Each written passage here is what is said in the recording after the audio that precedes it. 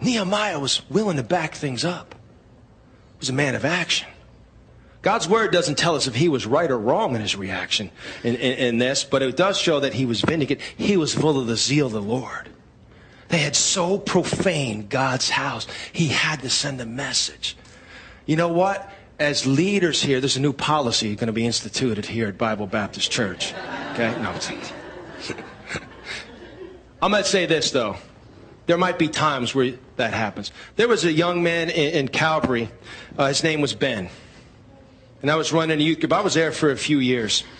And um, he was just, he was a nice kid, but he was one of those kids that was always just, he's a real smart aleck. Was just, was, was a bright kid, which didn't help things, right? Made him more dangerous. And we were outside one day, youth group, and uh, he was just, just trying to push my buttons, and he was just, you know, kind of not taking the Lord serious.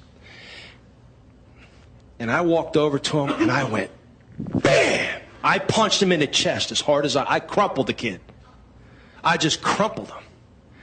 And I said, I leaned over and I said, Ben, when are you going to stop playing games with God? I led that man to the Lord right there. There's times that that might be needed.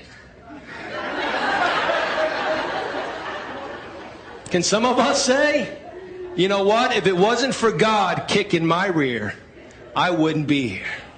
I've seen people, it literally took, sadly, a physical beating to come to the Lord.